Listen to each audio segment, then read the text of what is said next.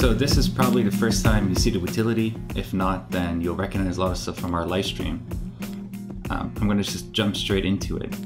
So here you can see I have the utility in front of me and the keyboard here. I'm in my digital profile. It's nice rainbowy right now.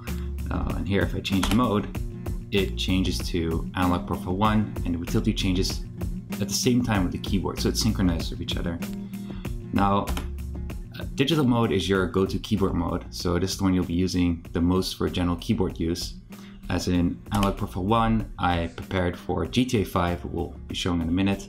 And Analog Profile 2 is also for GTA 5, but then flying. Uh, but we'll get in there in a second. So let's start with colors. As you can see, as I'm changing the profiles, the keyboard syncing with the utility. Um, I don't like the red colors on the keyboard right now, so we're going to change a couple of colors and I would like to change to some green colors, for example. So WASD, we make it green, and we have this pink color here that I use very often. We're going to change these modifiers to pink, and you can see instantly that the colors are changing with the keyboard.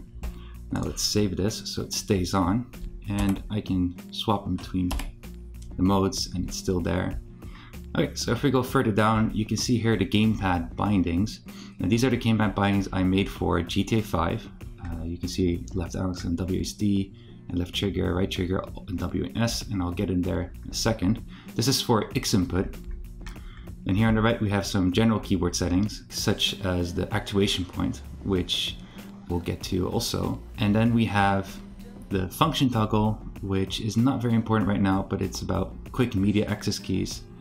Then you have the general key bindings you can change here for switching profiles or switching between modes. And then here we have our advanced gamepad settings, which is right now if you want to turn on digital keys, which means that you can still use the keyboard while using it analog. Um, and you can change the analog curve, meaning that you can change where the value starts and where the value ends and how fast it goes from start to end. And you might want to have that different for every game. So you can see here, I changed this for GTA 5 specifically. This is a curve I like for GTA 5 that I just set up. And if I go to another profile, for example, this one for flying, I haven't changed anything of the analog curve here. You can see it's still a linear one. Uh, but you can change it for every analog profile to your own preferences, including if you want to have the keyboard on or off. Okay, so let's jump into a game to show you what kind of setup I made. Alright, I'm in GTA 5, it's a little bit hectic, the police is chasing somebody around here. But anyway, I'm in digital mode, and you can see from my walking speed, this is the max, and if I press shift I can start sprinting. Now you should know that in GTA 5 there is no analog walking, so there's no point in using analog mode in this case. And that's why we made two different analog profiles for driving a car and for flying. Now let's start driving a car. Yeah, you too. Okay, so let's go in. I changed the mode to analog mode here, which is for driving a car, in this case, this profile.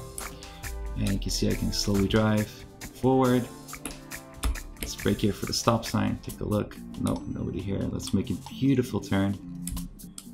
Okay, there we go. And as you can see, it's uh, works pretty well. You can drive analog here. I can make some slow turns and I can make some big turns here. It takes a little bit getting used to as you're not used to pressing these keys slightly, but uh, you get the hang of it quite fast. Now let me get out of the car here. Because one of the annoying parts is that maybe you feel that when you go out of the car you need to go back to digital mode. You need to press mode here to go back and you need to press mode again when you go back in the vehicle and it can be quite annoying. First you're wondering why would you even need to change between profiles? Why don't you just stay in the analog profile? Well let me show you here. When I'm in analog profile and walking, I'm punching and that's not you know what you want. And you can see the rest works quite fine but every time I walk forward I punch. And the reason why is we need to take a look into the utility. So let's just jump back into utility. And you can see here from analog profile which I made for driving and we were just using, I have left joystick mapped on WASD, but I also have left and right trigger mapped on S and W. The reason why I mapped it on S and W is because for driving a car, you need to use left trigger, right trigger for forward and backwards.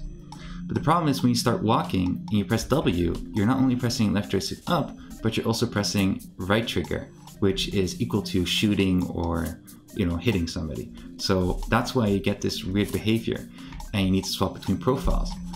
So previously I said you need to press mode key to swap between these profiles. But let's say we want a faster key, a quicker key, other than mode. Then we can just change that right here with mode key. So double click this one. Uh, and let's change to caps lock, for example, and save it. And let's go back in the game and swap between profiles. Okay, so we're back in GTA. I'm still in my analog mode here, as you can see, punch. Now, we want to go to digital mode, so there's caps lock, caps lock here to swap. And now instantly I can swap in between profiles with caps lock. Next up is flying. So I made a separate profile for flying. Let's get in chopper here. You might have noticed I'm using blue switches here so you can hear the clicky sounds. The click doesn't get that much in the way of analog. Uh, actually, it also kind of helps you to know when analog starts, so sometimes it can be pretty nice. But it's very user dependent. If I get into the chopper, I made a special profile for this one, which is on analog profile 2. When I press caps lock, I swap between digital mode and analog profile 1. But in this case, I need analog profile 2. So I mapped it on function arrow down. Now I'm in my flying mode, my analog flying mode. But obviously you're gonna say, what if you go out of the chopper, right? We need to go back to digital mode. So out of chopper, press caps lock, back in digital mode. But when I go back in the chopper, I need to quickly swap back to the analog mode.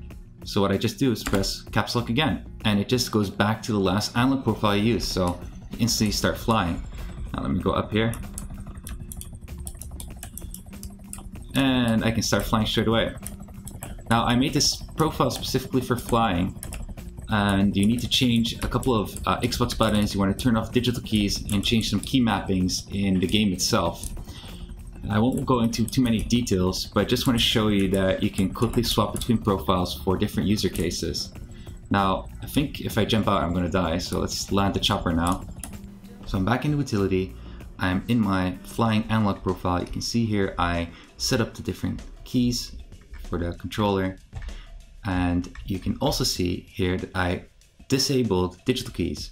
And the reason why is because I didn't want digital keys to influence anything of my control. But this also means that I cannot use it for typing because the keyboard is disabled or typing is disabled. Digital keys are disabled. And this activation point you see here depends on the digital keys. So wherever you put the activation point is where it starts registering the keyboard stroke.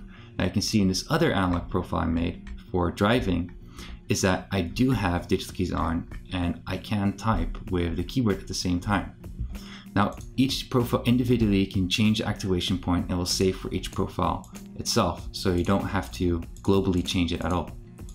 Now this was the basics of the utility. We have more functionalities coming out in upcoming updates and before it's at your house, but we'll show those in a future video. I hope you enjoyed and thanks.